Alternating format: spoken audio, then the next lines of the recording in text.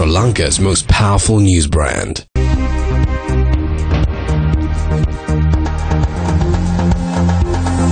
මේ ප්‍රයිම්ටයිම් සන්රයිස් ප්‍රවෘති ප්‍රකාශයයි. අයිබෝන් සුබුදෑසනක් ඔබෙක් පිසිරෙන්නේ උදෑසන ප්‍රධාන ප්‍රති ප්‍රකාශයත් සමගින් මම තිනුෂා බේසිංහ ප්‍රථමයෙන් සිරස්තල. බැඳුම්කර වාර්තාව ගැන අද ජනපතිගෙන් විශේෂ ප්‍රකාශයක්. පළාත් පාලන මැතිවරණය ආශ්‍රිත පැමිණිලි දෙසිය හැටක් මැතිවරණ කොමිසමට පනස් පස් දෙනෙකු අත්තරංගුවට.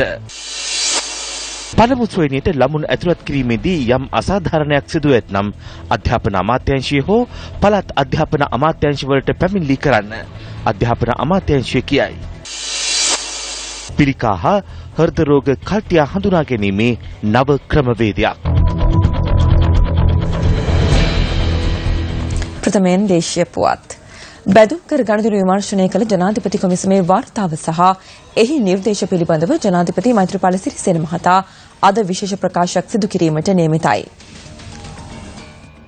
ජනාධිපති ලේකම් ඔස්ටින් ප්‍රනාන්දු මහතාගෙන් නිවස් ෆස්ට් කළ විමසීමකදී ඔහු සඳහන් කළේ අද දහවල් මාධ්‍ය හරහා එම ප්‍රකාශය සිදු කරනු ඇති බවයි.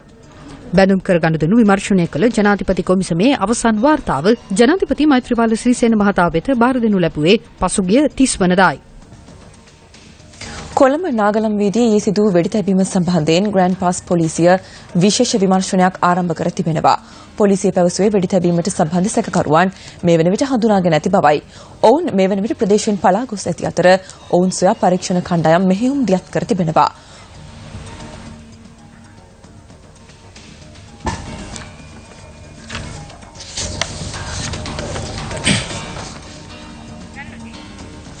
පළමු ශ්‍රේණියට ළමුන් ඇතුළත් කිරීමේදී යම් අසාධාරණයක් සිදුව ඇතනම් ඒ පිළිබඳ අධ්‍යාපන අමාත්‍යාංශය හෝ පළාත් අධ්‍යාපන අමාත්‍යාංශවලට පැමිණිලි කළ හැකි බව අධ්‍යාපන අමාත්‍යාංශය පවසනවා.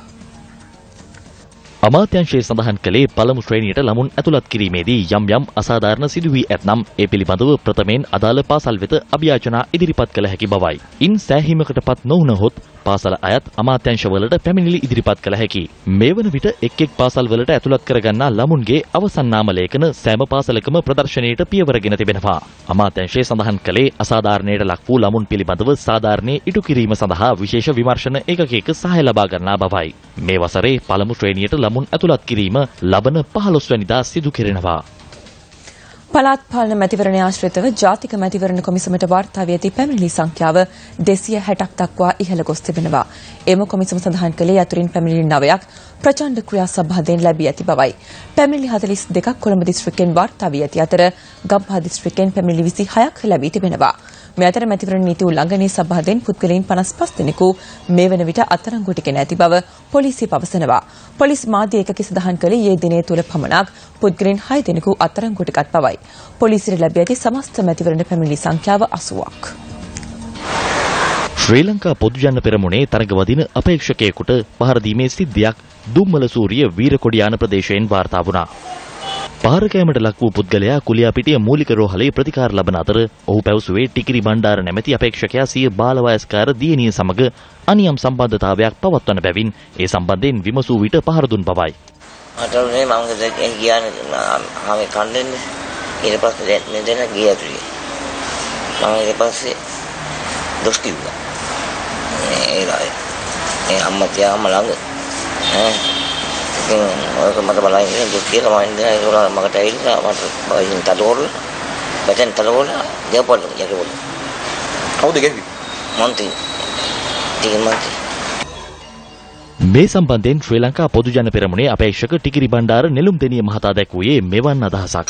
එක්තරා පුද්ගලයෙක් මට අත අත දාලා අත දාලා හිටින්න කියලා ඊට පස්සේ මේ මිනිස්සයා යකඩ පොල්ලක් කරන් මට ගැහුවා. මගේ උරහිසට ගැහුවා මේ මේ ඔළුවට ගැව්වා. ඒ ඔළුවට ගහපු එක. හෙල්මට් එක තිබ්බ ගානක් වුණේ ඊළඟ එක මගේ මේ මේ ඊළඟ පාර මගේ මූණට ගහනකොට කෙලින්ම මගේ වෙද ඇඟිල්ල. මේ මේ තියෙන මගේ වෙද ඇඟිල්ලම වෙද ඇඟිල්ල මේ වුණා.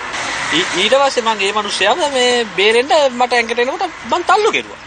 තල් නියම් සමතතාවයක් පවත්වන්න මට ඕනේ මට සුන්දර බිරිඳකුයි සුරතල් ළමයි දෙන්නෙකුයි ඉන්නවා ඒක අන්න මං කායෙක්වත් අනියම් සම්මතකම් පවත්වන්න යන්නේ නැහැ සිද්ධිය සම්බන්ධයෙන් දුම්මල සූරිය පොලිසිය වැඩි දුර විමර්ශන පවත්වනවා. යාපනයේ නීර්වැලි මාර්ගයේදී තිරෝධ රථයක් හා වෑන් රථයක් මුහුණට මුහුණ ගැටීමෙන් කුඩා දරුවෙක් ඇතුළු දෙදෙනෙකු මිය ගොස් තවත් දෙදෙනෙකුට බරපතල තුවාල සිදු වී තිබෙනවා. පොලිසිය සඳහන් කළේ යාපනයේ සිට පේදුරුතුඩු දෙසට ගමන්ගත් වෑන් රථයක් හා පේදුරුතුඩු සිට යාපනය දෙසට ගමන්ගත් තීරෝධ රථයක් ගැටීමෙන් අනතුර සිදු ඇති බවයි. මෙම අනතුරෙන් තීරෝධ රථයේ පැමිණි 33 හැවිරිදි දිරිදුරු හා එහි ගමන්ගත් 6 හැවිරිදි කුඩා දරුවෙකු මිය ගියා. අනතුරෙන් තුවාල ලැබූ දෙදෙනෙකු මේ වන විට යාපනයේ ශික්ෂණ රෝහලේ ප්‍රතිකාර ලබන අතර අනතුර සම්බන්ධයෙන් වෑන් රථයේ රිදුරා අත්අඩංගුවටගෙන තිබෙනවා. මේ අතර දෙහියෝවිට ප්‍රදේශයේ ඊයේ රාත්‍රී සිදු වූ අනතුරකින් 29 හැවිරිදි තරුණයෙකු ජීවිතක්ෂයට පත් වුණා. අවිස්සාවෙල්ල කෑගල්ල මාර්ගයේ දෙහියෝවිට අටලුගම ප්‍රදේශයේදී මෙම අනතුර සිදුව ඇත්තේ කරවනැල්ල දිතර දහමනේ වූ අතුරුපැදියක් කැමරතේ කැටීමෙන් ජීවිතක්ෂයට පත් වුණේ අතුරුපැදිකරු වන අතර ඔහු දෙහියෝවිට දේවාලකන්ද ප්‍රදේශයේ පදිංචි කරුවෙක්. යටියන්තුර නගරයේ බැංකුවක් අසල වැටී තිබුණු විද්‍යුත් මුදල් කාඩ් පතකින් පුද්ගලයෙකු මුදල් ලබා ගන්නා ආකාරයේ CCTV කැමරා පද්ධතියේ සටහන් වී තිබුණා.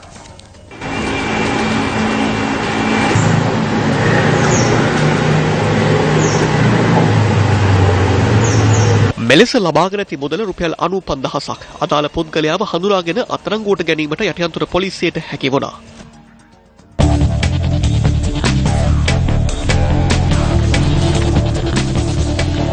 අන්තර් සමාජ ප්‍රමියර් ලීග් ක්‍රිකට් තරගාවලියේ කෝල්ස් ක්‍රීඩා සමාජය සහ SSC කණ්ඩායම අතර තරගය දෙවන දිනටත් අද පැවැත්වෙනවා. ඒ දිනේ සඳහා තරගය නතර කරන විට සිය පළමුවෙනිම ක්‍රීඩා කරන SSC කණ්ඩායම පන්දුවර පහක් අවසානයේ කිසිවෙකු නොදවී රැස් කරගෙන සිටි ලකුණු සංඛ්‍යාව 23ක්.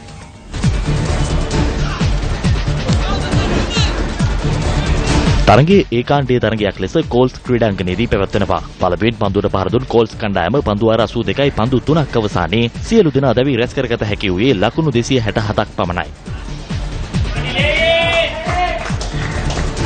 ආරම්භක පිතිකරු සංගීත් කුරේ ලකුණු 53ක් රැස් කළා. නායක දිල්රුවන් පෙරේරා ලකුණු 45යි. පන්දුයීමේදී වමතින් දඟපන්දු යවන ක්‍රීඩක ආකාශ් සේනාරත්න ලකුණු 76ට කඩලු 4ක් දවා ගත්තා. සචිත්‍ර සේනානායක කඩලු 3යි. SSC කණ්ඩායමේ පිළිතුරු ඉනිම ආරම්භ කරමින් නායක දිමුත් කරුණාරත්න සහ කෞශල් සිල්වා පිටියට පිවිසියා.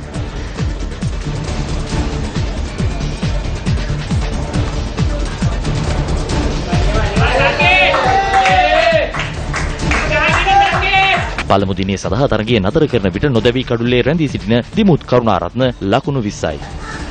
ඊයේ දිනේ සඳහා තරගය නතර කරන විට පළමු ඉනිම ක්‍රීඩා කරන SSC කණ්ඩායම කෝල්ස් පළමු ඉනිමට වඩා කඩලු 10ක් අතැතිව ලකුණු 244ක් පිටුපසින් සිටිනවා. ඒ සමගින් උදෑසන ප්‍රධාන ප්‍රවෘත්ති ප්‍රකාශය අවසන් වෙනවා. ඔබට සුබ දවසක්. ආයිබෝවන්. Hotline 0114 896 896. www.newsfirst.lk. Feedback at newsfirst.lk.